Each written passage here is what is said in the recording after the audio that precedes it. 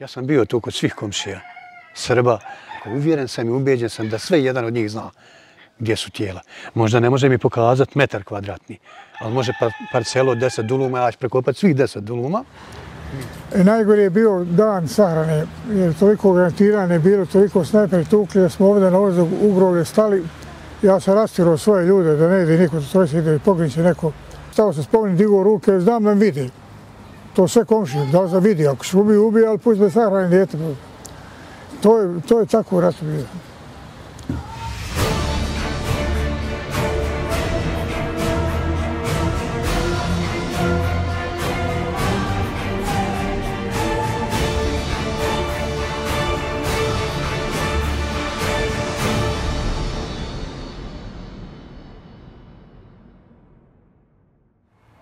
Prva žrtva rata je Macipor Aleksandar. On je izgubio život usled djelovanja granate minobacačke. On je sa dvoje naših sugrađana sakrio se bio iza jedne zgrade, međutim i tu je izgubio život i ni tu nije bio siguran. A posljednja žrtva rata je moja Ida Rahmetli, čerka koja je nastradala 28. septembra 1995. godine. Nakon 40 dana je usred zadobijeni rana podregla u opšte bolnicu Konjicu.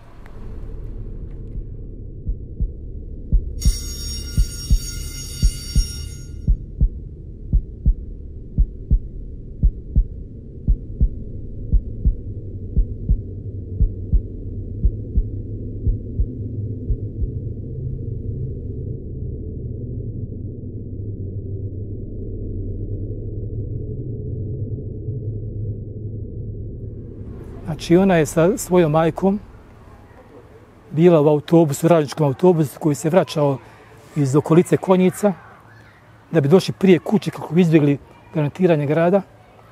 I nakon što je autobus ušao u ulicu gdje smo mi živjeli, smo stanovali, granata je udarila u zgradu iznad autobusa, svi se geleri vratili autobus, autobus je upao u rijeku Trešanicu. U tom momentu je i žena bila ranjena, međutim ona je bila lakše ranjena. Vidjela je da je Aida Rahmetli nepokretna, vozač također. I žena je došla iz autobusa, gazeći uzvodno rijeku Trešanicu, zvala u pomoć. U tom momentu su se pojavili ljudi koji su stanovali u toj susjednoj ulici, zatražili su pomoći zdravstvene ustanove i šta ja znam, i prebačeni u bolnicu Aida Rahmetli vozač. Aida Rahmetli mi je nakon toga deset dana su ljekari vodili borbu za njezin život. Imala je u tom momentu 11,5 godina. To je bilo 7. februar 1994. godine. Ja sam prije toga dva mjeseca s jednim konojem za glavi u Zenci. Znači nisam bio cijeli januar i februar u Konjicu jedva su se vratili konji, došao sam prije nada nego što takve djeci. da su komšije, pala je granata Brezgadu, mala je ušla da maci, da, da jede. I tada je granata, gele su u stanu krenuli, prvi spat je bio i noći se počela u bolnicu i za tri sata je umrla. A šta, to je vrlo teško govoriti šta to znači, ali tako je to.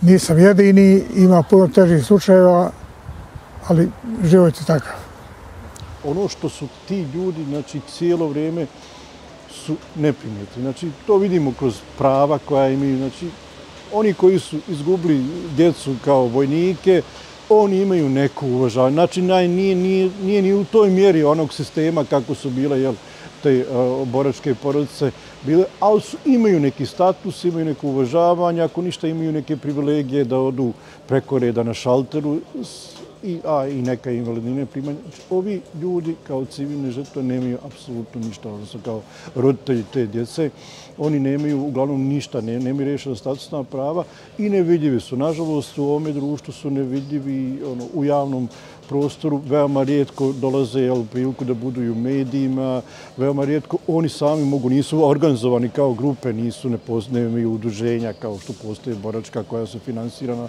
od strane vlade. Znači, veoma rijetko mogu oni sami nešto da urade. Ja sam dolazio gore svako jutro pred bolnicu tražeći informaciju kako je provela noć. Međutim, to jutro niko nije došao, nisu mogli da mi kažu, jer se znao da ja sjedim vani. Došla je jedna prijateljica, pitala Mirfane kako ti je bila Ida, znači noć tako ne zna, rekao, niko, niko nije dolazio i da mi kaže. Kao što je bio do tada 40 dana običaj. Sač kaže, ja vidjeti, ona je ušla u, u, u bolnicu, zvonila me u hol sa jednim doktorom Idašna koji je bio dežurni. Irfan je sjedio ovdje na klupu i dala mi jezne međučice. Kaže, preselila je pola četiri. Došao sam kući, žena pita kako je Aida bila. Rekao, nema rekao više.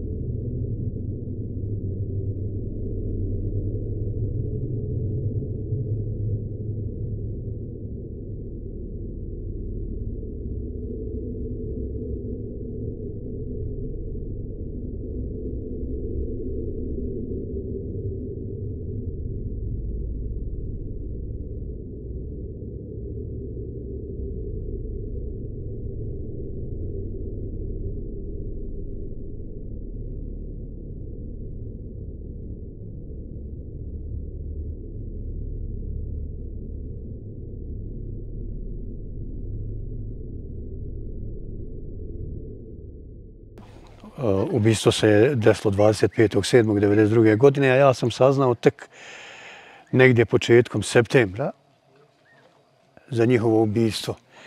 Eh, jel su bile prekinute telefonske veze, nije se moglo nikako do... Ovaj, ja sam znao provoditi do jedan posle ponoći i do dva sata na telefonskoj govornici, jer sam čuo da je negdje izišao neko iz Zecova i Čarakova koji poznaje mene i moju porodicu, pa sam dobio broj telefona, pa sam kontaktirao, pitao, međutim niko mi nije htio reći za to.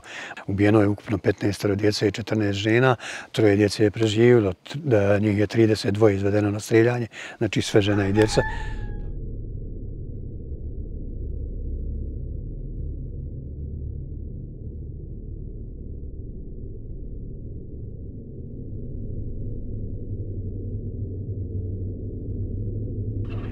Nema Fikreta gore na gradni više nikoga, svi su pobijeni.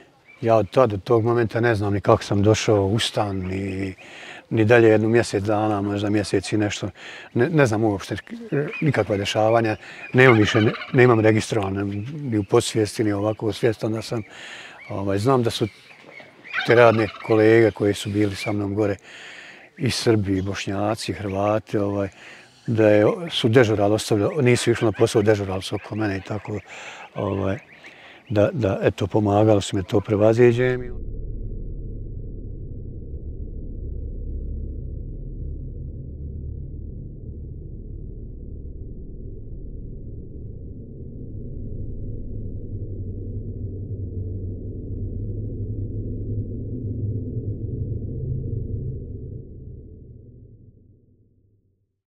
A spomenik inače ne nosi nikvu nacionalni predznak na njemu se nalazi imena djece sve tri nacionalnosti. U stvari, jedne nacionalnosti. Postoji samo jedna nacionalnost kad su pitanju djeca. Djeca su stvorenja koja su bezgrešna i ničemu oni nisu, ako, sam, ako neko nešto kriv nekome, zbog čega je dolazilo do sukoba, to smo mi stari krivi, svak na svoj način kada je Skupština udruženja crnih žetara, tako oni donijeli odluku da se gradi spomenik na moju inicijativu. Krenulo se skupati novac, to je bilo danas posle rata, nema keša niko. I u jednom momentu je došao sredno građansku firmu, mom prijatelju, kaže, tražite materijal, a piše to napred. I tako je bilo. A što je napred spomenik, pa da, da buduće generacije sadašnje znaju koliko je djece stradalo u Konjicu.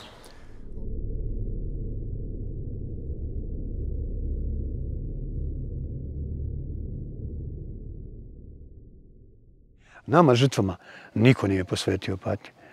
Niko nije posvetio pažnje, znači kad krenemo od lokalne zajednice do države, Naprotiv, mi smo diskriminirani i diskriminacija se sve više i više prema žrtvama ovaj, sprovodi. Evo, znači od 2013. godine do danas nismo dobili niti jedno pismo od gradskih vlasti, a ja sam 236 stranica napisao, pisao, tražio, um, urgirao i svašta nešto. Nama, porodic članova, preživljenim članova porodice, je bila ta satisfakcija da imaju svoj mezar, da možemo otići na mezar, da se pomolimo, da im odamo čast, kao i ovaj spomenik u bilju djece grada Prijedora. Uvijek kod svih spomenika je proces je važan, znači to dok traje i priča o tome, najčešće taj spomenik postaje samo dio jel, nekog ambijenta, kasnije, kad, kad već postoji, kasnije i ta priča o tim žrtvama ono, jenjava i u neko vrijeme i prestane, dok mi smo uspjeli, jel, kroz ovi 102 djece inicijativu, da ih memorializiramo kroz razne forme, pa su to i dokumentarističke, i,